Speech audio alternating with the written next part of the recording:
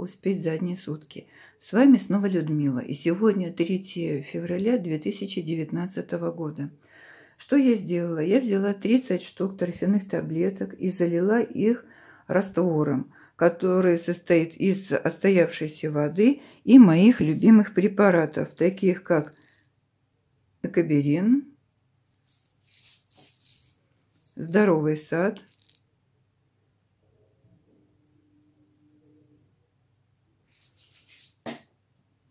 и такой препарат, как HB101. А, гранул я брала на двухлитровую бутылку примерно по 5 штук, и где-то 5 штук кабель а, было HB101. Что я теперь буду делать? Я произведу посев земляники садовой. Буду сеять сегодня такие сорта, как Барон Салимахер. Здесь у нас 0,1 а, грамма. Э, затем Альпина Радуга. Здесь у нас 10 штук. И а, Али Баба. Здесь у нас тоже 0,1 грамма. Э, как это выглядит, вот где в граммах, в штуках, я не знаю. Посмотрим. Ну, что я буду делать сейчас, вы увидите. Я вскрою пакеты и э, буду аккуратно раскладывать семена в торфяные таблеточки. Земляники садовой Альпина Радуга.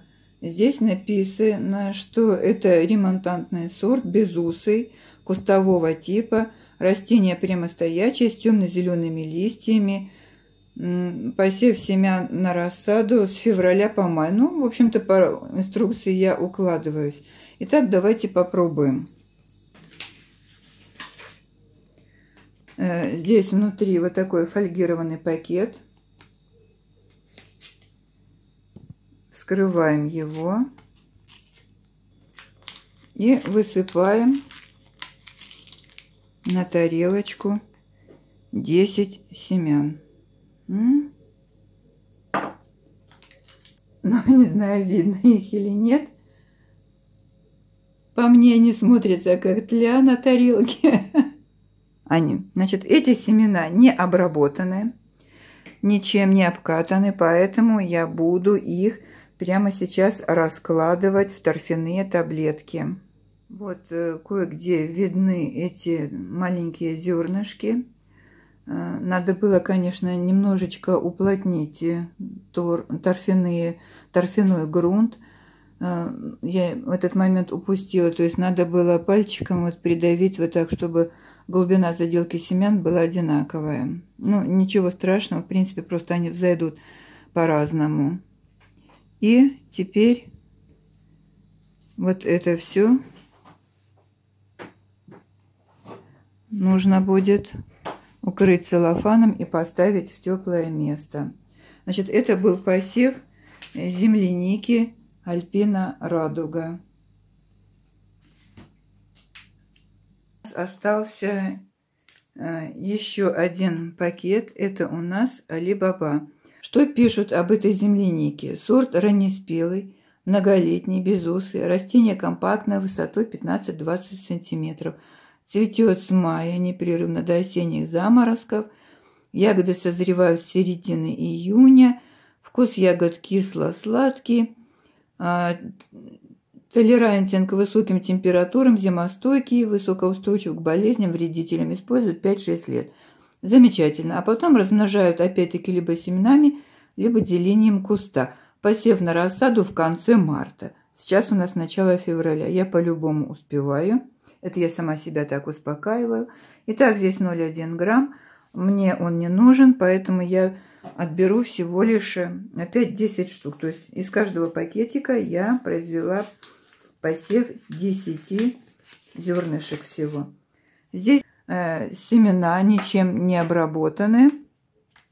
И отберем всего лишь 10 штучек примерно. Здесь 10 штук. Итак, приступаем.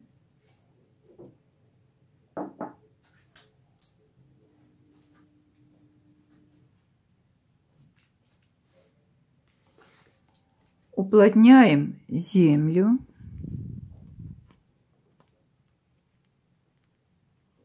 Теперь сюда на поверхность раскладываем зернышки.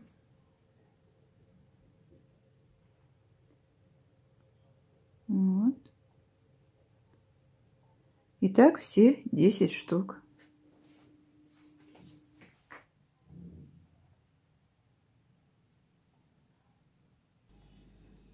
Ну, наверное, эту мелочь не видно здесь. Ну, теперь просто уплотняем пальчиком. Главное, чтобы зернышко не приклеилось к пальцу. Точно так же я оставлю здесь название. Я могу его спокойно срезать, потому что с этой стороны название остается. Пакет сейчас сверху.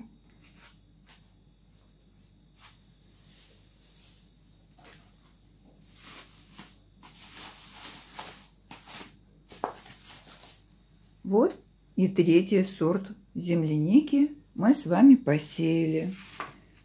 Теперь поставим это в теплое место и будем ждать всходов. С вами была Людмила. До новых встреч. Сегодня уже 16 февраля. А, есть некоторые всходы клубнички. Она же садовая земляника. Вот малыши вот такие карандаши. И я решила, что их нужно подкормить. Э, чем я буду подкармливать? Ну, здесь, кстати, петуния проросла. А, значит, я набрала пол миллилитра М жидкости из ведра, которое у меня ферментирует. И разбавлю это в одном литре воды. Сейчас вылью.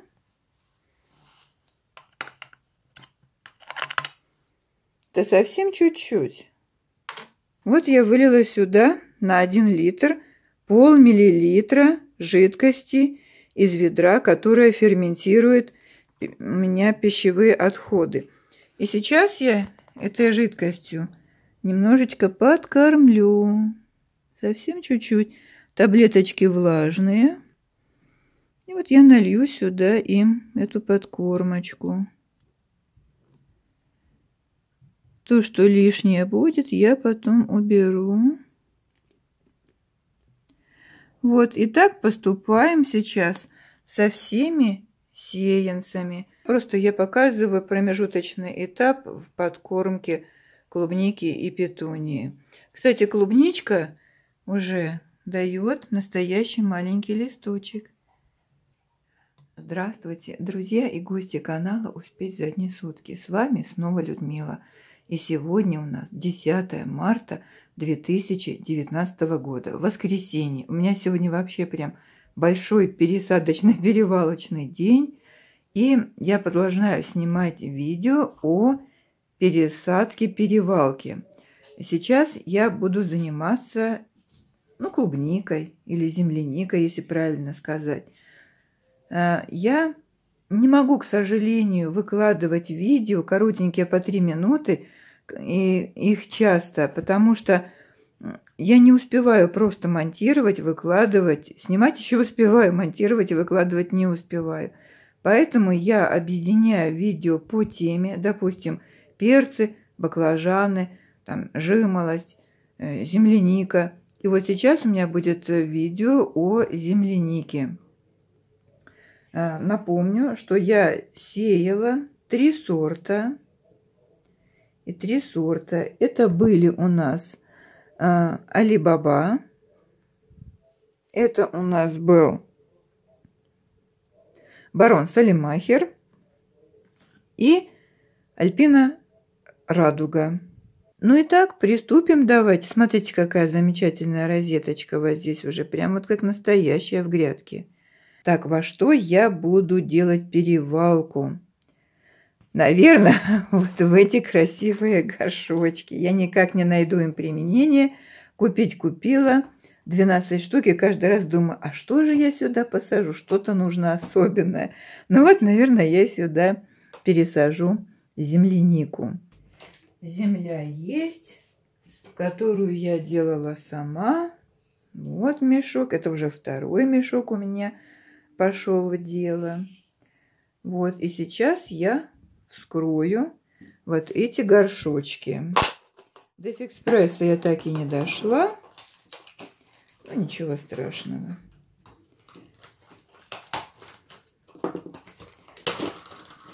Какие хорошие горшочки. Такие плотненькие прям. И вот как они входят один в другой, занимая мало места.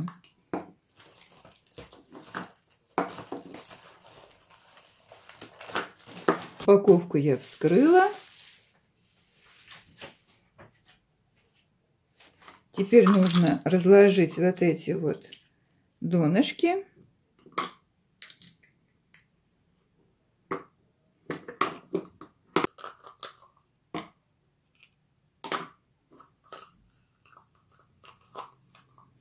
Ну вот, 12 горшочков готовы.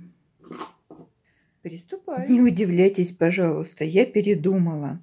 А, когда я начала насыпать землю в эти красивые зеленые горшочки, я поняла, что там торфяная таблетка занимает слишком много места и мало будет места для развития корней. Поэтому я решила пересадить землянику вот в эти стандартные свои контейнеры. Видите, здесь много получается места для того, чтобы хорошо развивались корни. Я уже сняла одно видео, но когда стала проверять, выяснилось, что оно не получилось. Поэтому я буду снимать его снова. Э, ну что, берем тогда следующую торфяную таблетку. Вот. Мы видим, что здесь корешков, ну, не очень много, потому что здесь кустик поменьше. В том кустике предыдущем было побольше. Вот, мы находим э, сторону, на ткани, где корней меньше вышло, где корней вышло меньше всего, осторожно надрезаем и снимаем эту ткань. Ткань здесь хорошая, корешки замечательно через нее проходят, не обрываясь, но они, скажем так, еще не особенно и большие корешки. Вот, собственно, и все. И теперь просто берем, ставим сюда торфяную таблетку. Видите, сколько вокруг у меня места получается для развития корней. Сейчас я здесь аккуратно обсыплю землей, не засыпая вот это сердечко. Обсыпала здесь все землей, немного уплотнила. И сейчас побрызгаю на этот кустик. Здесь у меня экогель антистресс разведенный. Там столовая ложка идет на литр. Ну, я развела на стакан. Мне литр не нужен. Да. Вот антистресс. Если у вас э, есть какое-то другое средство, которое вы используете для, э, для того, чтобы помочь растениям перенести пересадку, перевалку, используйте его, пожалуйста. Мне нравится антистресс. Вот еще один кустик – у меня пересажен, вернее, даже перевален. Вот теперь приступаем. А, кстати, забыла сказать, что обязательно нужно надписать. Вот здесь я уже надписала, видите, Альпина Радуга. Надпишу сейчас и здесь тоже. И буду заниматься перевалкой всех остальных э, ну кустиков. Вот. Уже вечер за окном. Пока я возилась здесь клубникой, земляникой. Посмотрите, что получилось. Здесь у меня два наименования землянички. Здесь одно. Есть побольше, есть поменьше растишки, есть совсем крошечные. Но я уже определила их на постоянное место, чтобы уже знать, сколько они будут занимать у меня. Место в рассаднике. Так что вот так выращивать землянику в домашних условиях совсем не сложно. Если видео вам понравилось, ставьте палец вверх, подписывайтесь на канал «Успеть за одни сутки». И спасибо, что смотрели видео до конца.